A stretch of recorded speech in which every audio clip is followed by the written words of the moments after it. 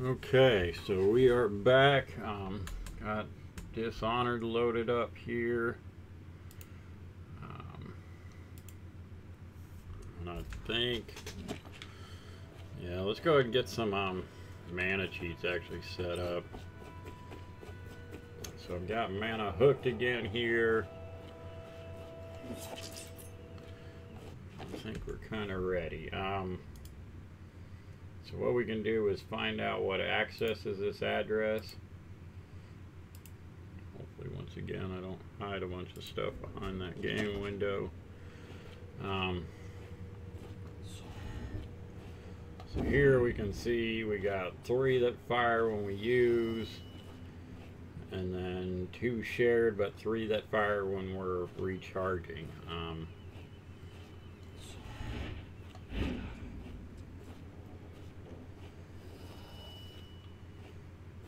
and it actually does fire 20 times. Since it increases 20, then we can know that when it's charging, it's just increasing by one each time. Because um, if it was anything else, it would be less than 20. So, and then since the write instruction is a shared one, that means this is an actual, I would call this a write and not just, it's not just increasing, it's both increasing and decreasing there. Um, let's go ahead and stop that. so that means we need to figure out where it's calculating stuff for increase and decrease.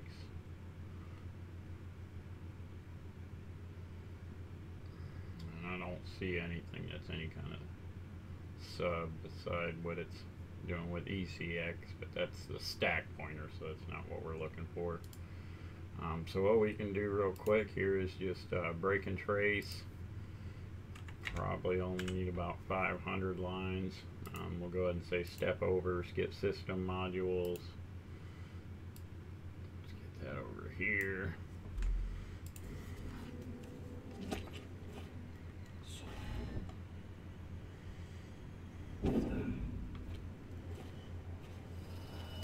And then I just kind of prefer break and trace, but um, one other option we do have is we could kind of scroll down in here and look for a return.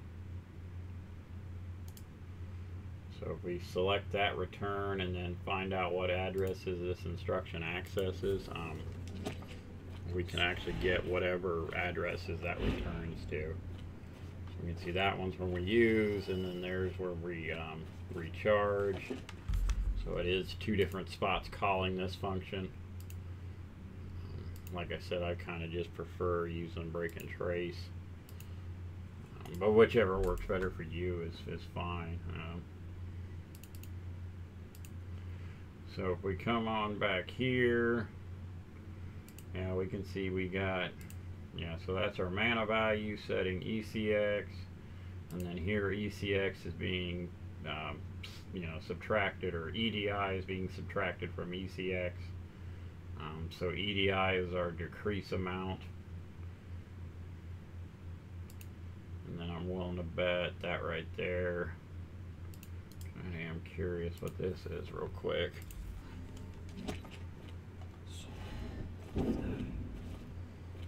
Yeah, probably some kind of function. At the very least an address something we may want to mess with just yet. It's possible it's a float value. Yeah, I'd definitely say that's an address. Um, so, oh, yeah, come back here. Oh, I should check what EDI was before I close that. That won't actually get us what EDI is. So yeah, let's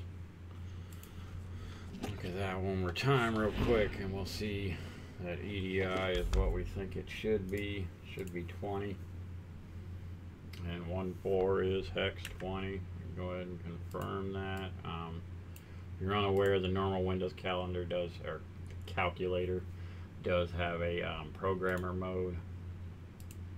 So here we can just put in hex 1.4, convert it to decimal, and it is in fact 20. So we could inject here. Um, the only issue we might run into is sometimes at the start of a function this stuff will be pretty generic and thus it can be hard to get a good AOB with it. Get over here just so we can see it. Yeah, so we might end up wanting to come on down here anyway, just so at the very least we can get a good AOB going. Ooh, wow.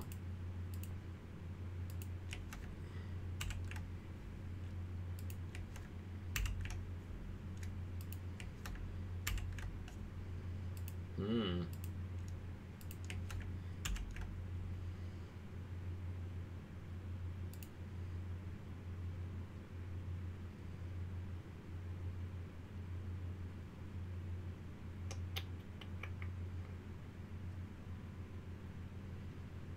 Yeah, I think we can inject there and we'll be alright. Um, the main reason why I don't want to inject directly on this sub, or on this subtraction one, is just because that would put us right into the um, push here, and that can make things a little funky. Um, I try and take a little bit off that now. It's gotta be that whole thing there. Okay. So, here we're gonna do Control A, Control Alt. Do now? let's let's do it with the value. So Control Alt seven. And that'll be the uh, custom AOB full injection with values. Um, we're not offsetting our injection point, so that'll be fine. And this is mana decrease.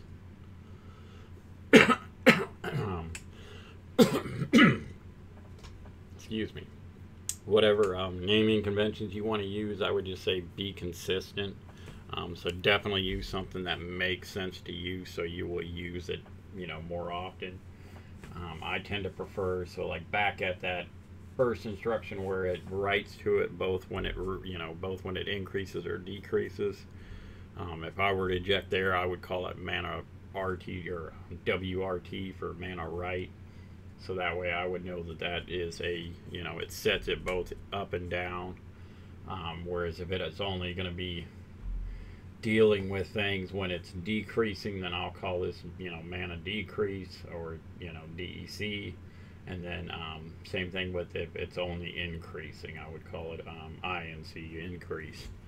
Um, just so that way, even a year from now, I could easily tell what what goes on in in the area of code that this is being injected to. Let's go ahead and go back to this before I start getting too far into this.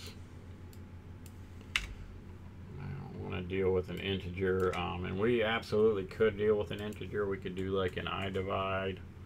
Um, I would say to an extent you could use I mul, but we would actually be increasing the amount, um, so we don't really want to do that. Um, but the catch with like IMUL and IDivide is it's with an integer and thus you're kind of stuck in one direction because you can't use like less than a number, you know, less than one. Um, whereas if we do set this up to work with a float, that will allow us the ability to go up or down, you know. So this way, if later on I want it to use more mana because I want more of a challenge, I can make it a number greater than one. Um, and then if I want it to be less mana because I'm just wanting to screw around or whatever the case may be, I can make it a value less than one. Um, and then it also makes fine tuning it a lot easier. Um, so one thing I forgot to mention with uh, multiplying and dividing integers is we've got a couple different instructions. Um, so we've got like a standard mul, a standard div, and then you've got imul and idivide or idiv. Um, and the difference with these is that um, so like the normal mul and normal divide these or divide um, these are for unsigned integers so technically these you can only go one direction um, but technically these are for signed integers. So you can actually go the opposite direction. Um, but again, it, it gets a little funky at that point because instead of increasing or decreasing the value, but always keeping it in the same sign, you know, so that way it would still be positive. Um, so in the case of like with what we were talking about with subtracting a value, um, you know, it does need to be a positive number. Otherwise, uh, obviously, if you subtract, you know, any number by, you know, a negative number, you then actually end up adding because the two, you know, the subtraction and the negative end up, you know, um, canceling each other out and they become a plus more or less if you remember this from math when you were younger. Um, so that is where, you know, I, I was kind of saying you could only go one direction, but it's not entirely true with IMUL and IDIV. Um, you can technically go the other direction, but you're going to change the sign. Um, so that's where, like I say, I you know I prefer to go with the float because I can you know go with something up you know greater than zero but under one, and thus change it to make it less. Or I can go with you know something, or at least when I'm multiplying. Um, or go with something that's greater than one and then make it more. Um, so, you know, saying that you can only go one direction with IMUL and IDIV isn't entirely correct, but in the context of what we're trying to do, it kind of is. Um, but mostly just because, you know, so if we had our our mana was 100 and then the value was going to decrease by its 20 and then we used IMUL with um, negative 2 um, it would make, you know, of course, it would make the 20 into negative 40, um, which really wouldn't work because then it would just be adding 40 to our current mana value. Um, so, you know, we wouldn't just be using less, we would actually just be increasing mana every time you tried to use mana, which, you know, that is something you could totally do if you wanted to. Again, one of the infinite mana ways we came up with, or you'll see that we come up with, you know, I would say would be better, but but ultimately I did just want to kind of touch on that to make sure I wasn't misleading you entirely. Um, I was just kind of simplifying things and stating it in the context of what we were trying to do and what I felt would be better, but I did want to make sure to point out that technically with IMUL and IDIV you can use negative numbers and thus you can go the opposite direction entirely if that's what you want to do. Because you know you can start off with you know 0 2 5 if that's too much um, we can go like 0 7 5 uh, we'll go and start with 2 5 just so we can see see it working a little easier. And we'll use this as a flag because we'll make like a proper infinite mana. we'll call this decrease value or yeah, decrease multiplier. And so the way I would deal with this is we'll go ahead and um, first we'll kind of look this over again. And since I'm not seeing any compares right here, more so any um, comparative actions so no like jump if equal jump if less than or move if less than or move if equal. Um, and, and there are a bunch of comparative stuff. But I'm not seeing any of that there so I, I don't think we need to save and restore flags. I think we can get away without it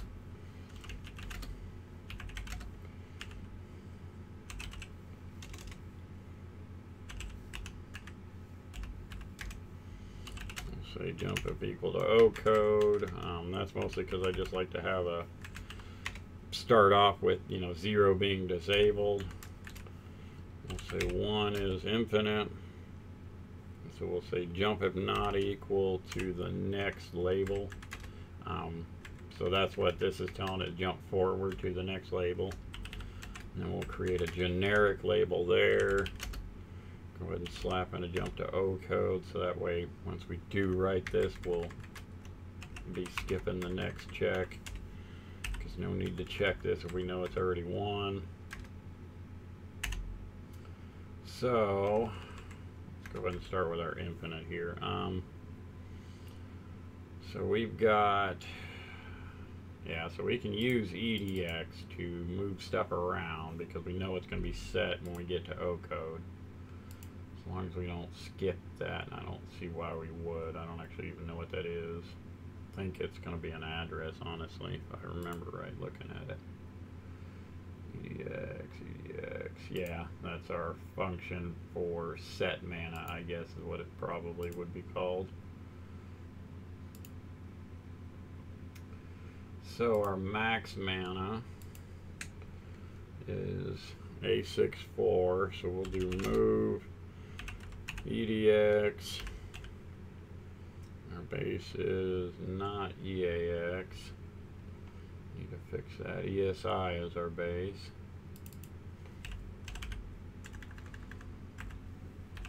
ESI plus A64. And, ooh, no. Yeah, ECX is the current value, so we just want to set it with ECX and then it will set mana based on that anyway. Um, so the only other thing we need to do is zero EDI. Um, and you know we could do this a couple different ways. So move EDI zero, um, but that will end up being one, two, three, four, five, six, seven, eight. Um, it will be assembled like that. So uh, more bytes um, where we can use a simpler way. We can use exclusive or I believe that's right. We'll we'll check that here in just a second. Um, with the same two values. Um, and the way that works, let me look. Okay, so now to dig into the increase value, let's see what accesses this again. At this point, really, we just need that right, so we could have just done see what. But unless you get into a larger game where stuff that's just firing at crazy speeds, um, seeing what access really won't hurt you. Especially if you just know how to look for a write. I mean, obviously we can see here that's a write and that's a write and all the rest of these are reads. So we can go ahead and go with show disassembler. Don't want to break and trace yet. Oh, still got infinite mana set up. Although I'm betting that still fires. It just probably keeps writing the max value. So let's go ahead. Actually, let's disable that completely for now.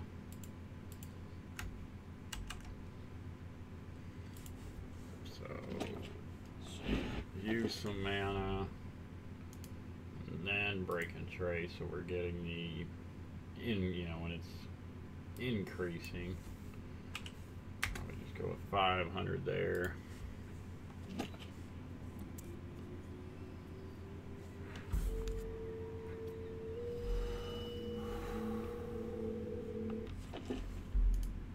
So now, come out here.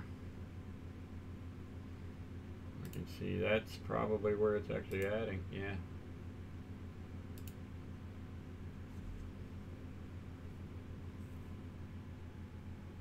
So we could just manipulate the value right there. Probably get away with that, but I am a little curious here. Let's see what we find in the next function here, the next, going back one more function call. Ooh, so we got some kind of float being compared here against a zero because we know XOR is zeroing and that's all this is doing. This is doing XOR pack scalar. Um, you know, on one of these we'll actually use the XMM registries, um, maybe even somewhere with this. And we'll kind of go over that a little bit more. Um, but at any rate, a pack scalar is if you notice when we looked at the um, actually we'll see what this value is and look at it here in a second. I'll explain it. Oh yeah looks like that is a delay time. Hopefully you can hear that sound effect. I guess I could put it back on that one so you can actually see a little bit down, and about the time it looks like it's hitting zero, it does look like it's got some weird, like it's a double timer or something, like it hits zero and then goes back up to one for a second. So that may actually be what's also telling it each time it's doing one. I bet it is. I bet if we made that timer set, you know, hard set to zero constantly, this would be an instant recharge. Um, not only with no delay, but it would just slam through increasing it and do it really fast with no delay between each time it increases. Um, so yeah, looking at um, register stats, if we check the float here, um, we see the XMM registries, we can see it's got four floats here, and that's what any of the um, PS instruction. Well, not any of those. I do think there is some stuff with. I can't remember. But at any rate, so like a move SS um, would just be one, whereas like a move um, SD would be two of these, but it would actually just be one as a double. Um, but like move PS or actually be either move UPS or move APS, which would be a line pack scalar or unaligned pack scalar. Um, it will move all four of these. It will move the whole registry, and then so XOR PS will zero the whole registry. It'll XOR the whole registry. Um, so by doing it by you know to itself, this will zero everything.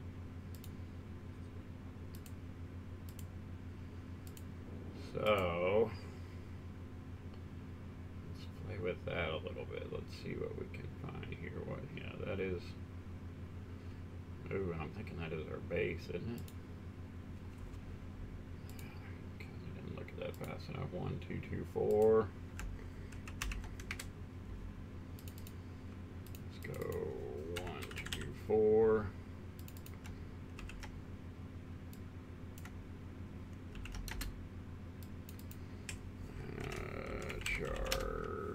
timer.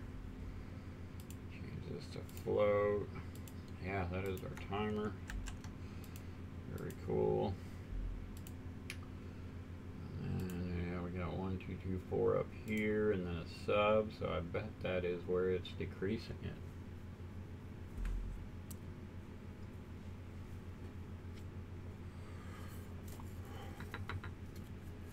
So we could just down here at the check just make like this jump um, check if it is if that is below zero I'm thinking we would need to no op that out.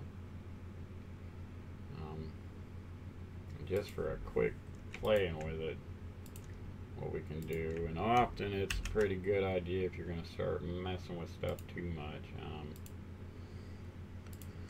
copy out a few lines of instruction stick them somewhere for now, just so in case I screw this up, it won't be a big deal. Then we go, go ahead and copy that, and let's just say no op. It's asking us if we want to make everything else no ops, um, because we're only no op in one byte, and then instruction is more than one byte, so we're going to say yes.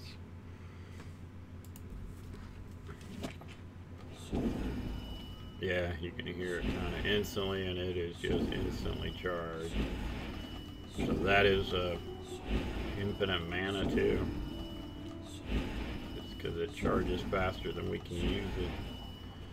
I would imagine there would be something if we only ever recharge by... Ooh, and I do have other stuff already. Yeah, that's nice. I don't remember how that one actually works. At any rate, we can go ahead and reset that back. Uh, no, this time we don't want to set, because it might end up screwing up this next instruction. That looks like it all got set back correctly. Yeah.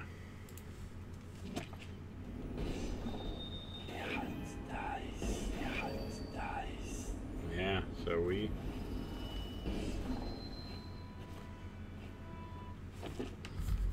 kind of actually get an infinite with that just by changing that jump to it. You know, no whopping this jump out.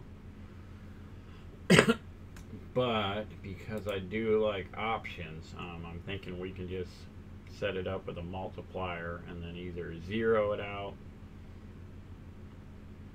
or, you know, multiply it by um, some number less than 1 and just make it a little, or no, by a, number greater than 1 and make it work a little faster. Um, or at least our decrease value here. Yeah, so you can either zero the timer or decrease the, um, or increase the uh, decrease value here to make it run a little faster.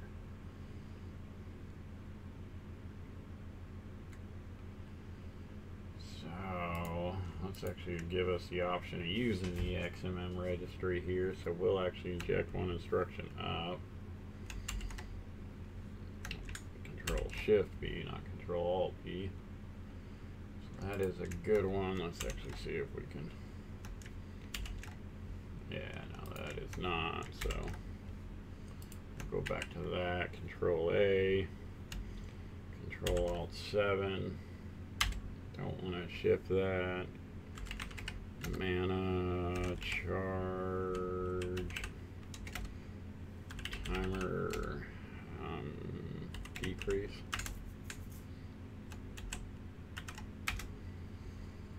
And then if you're custom writing all this stuff out, not using templates like I am, um, you don't necessarily need to go with uh, super verbose naming conventions here. You can shorten stuff up as long as it makes sense to you and you know that you'll be able to kind of make sense of it later. So here we can get rid of int. I'm not going to be using an integer. Go ahead and say 3 for our multiplier right off the bat here. So this will be a flag again. This will be a scale multiplier. Multiplier.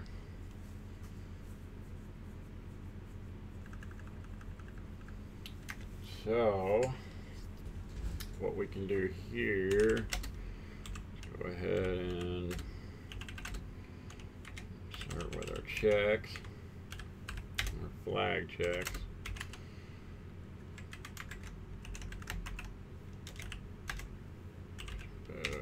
not equal F to O code. And actually, we'll probably want to jump to exit with that one.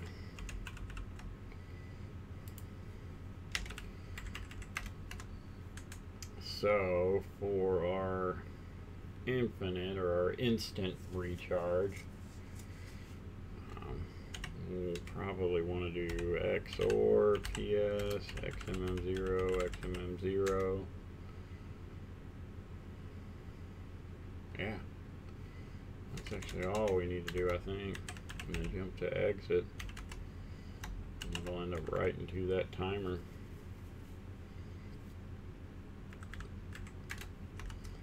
So then for our multiplier here, what we can do because we know it's going to XMM0, at least the first float in that is going to be set right after this.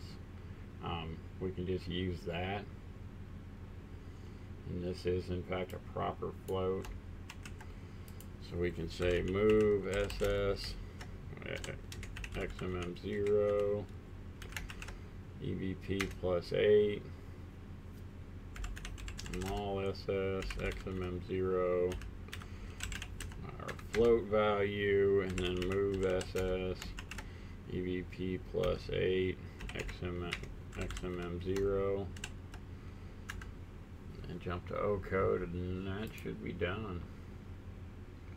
It should give us what I'm looking for here.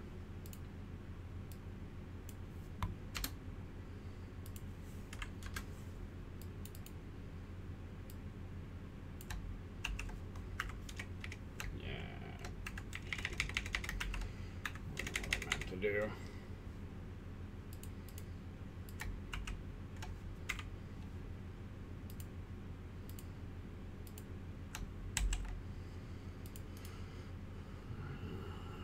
Set that up.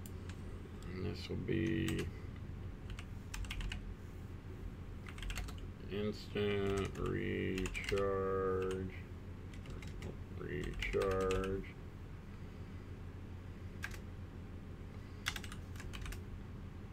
and scale multiplier.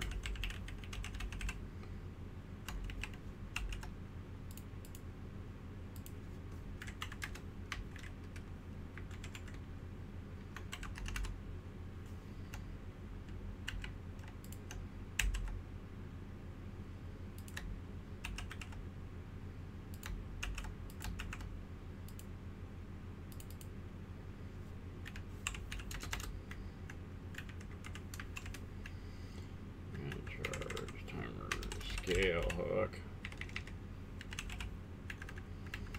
And that is again, uh, I, you know, I honestly couldn't say why. I always, when it's a timer, it's always a scale thing. You know, a scale multiplier, a scale hook, or something like that. Um, but of course, you can use whatever naming conventions make more sense to you.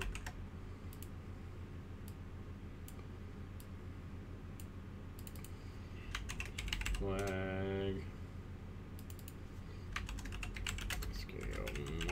scale multiplier, multiplier, yeah, got that right. Oh, nope.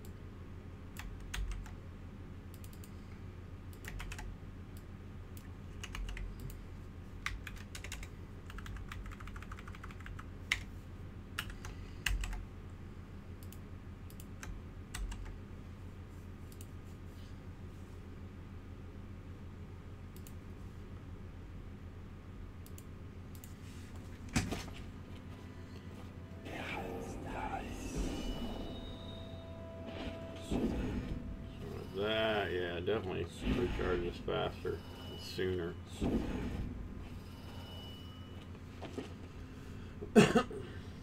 Combine that with our and a decrease hook here.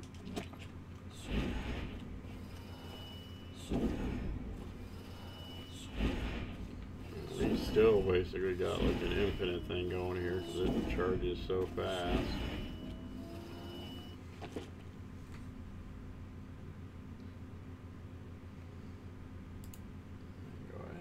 Disable that again just to test this one a little more. do an instant recharge. And yeah, we definitely got a, basically an infinite mana.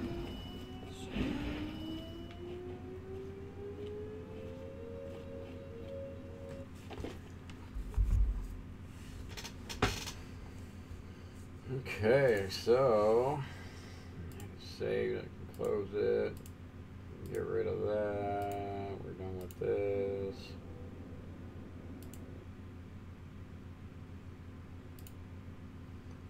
So yeah, I would say that pretty well works for our mana charge hook here.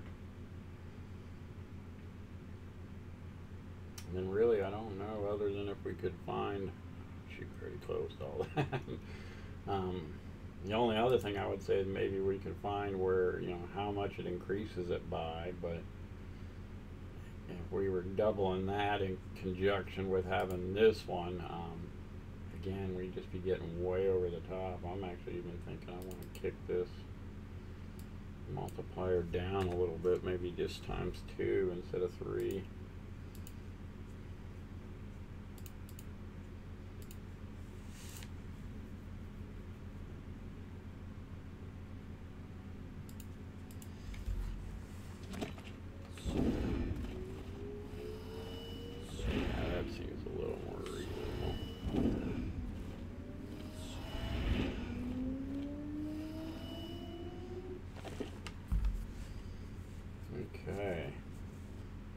Okay, so I'm thinking we're about 45 minutes in, um, give or take a little bit.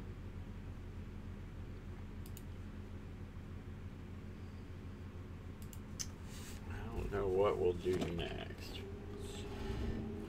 Probably will separate into a different video though. Um, so actually, you know what? Yeah, we're gonna go with that cooldown. Um, because that one is going to be get into some different methods to find it. Um, because you kind of notice it's not something we have a direct visual kind of thing for. but there is that slight delay when we can, when I can blink again. Because right now I'm just kind of clicking the button as fast as I can, and it's only letting me go so fast. And I just had a lot of fun with just blinking all over the place like crazy. You could basically fly with it.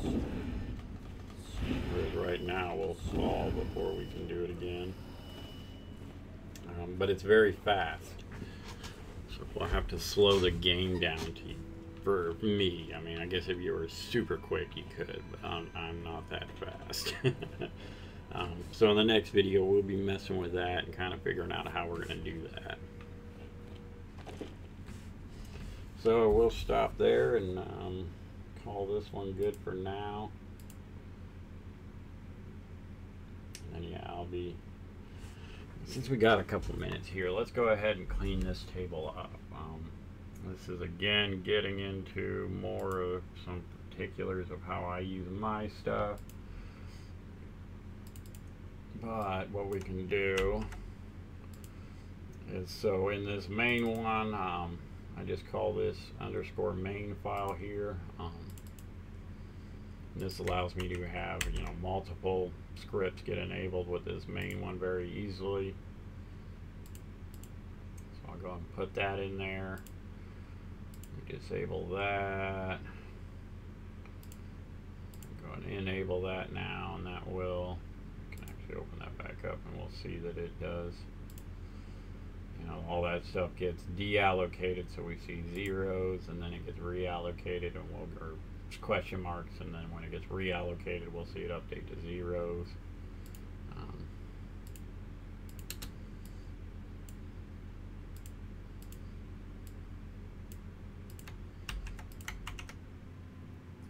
and in this case, it's not dependent on it. These two scripts don't actually depend on the main hook, so to speak, or the main hooks. Um, but I still tend to prefer to nest it in this way. but it does cause some issues sometimes where if there's a script that doesn't work in here then you know people in theory don't get access to anything um, sometimes I will explain to go ahead and just disable the hiding and then you'll get some that'll just throw an error and tell you you can't do that um, just because go and stick that in with the mana um, just because I, you know, I might have a, a, script that actually is dependent on something there. Like I said, if we were doing a comparison based on that pointer. Um, but since we're not doing that, we wouldn't really, we don't really have to nest that. Oh, I don't think that'll work because. Yeah. Okay. So yeah, I'm going to call this video good. Um, I'll be including this table once again with the post. I probably won't include the modules and all that again, um, because I feel like it's getting a little overly redundant there. Um, but since the table has changed, I will be including the table um, and probably the the full folder structure once more, just because that way you can quickly get access to this stuff. Otherwise, I eventually when I actually add a function somewhere here in the menu that would make life easier if you want to unpack this stuff, but right now I just don't have that, so I don't want to make you have to go through here and save each one of these to disk and then move it to the right folder and all that stuff. Um, I think if I just include the full, you know, not only have the table for people that just want the table to poke around with and make their own table separate from that, or people that want to actually kind of keep building on what I'm building on here.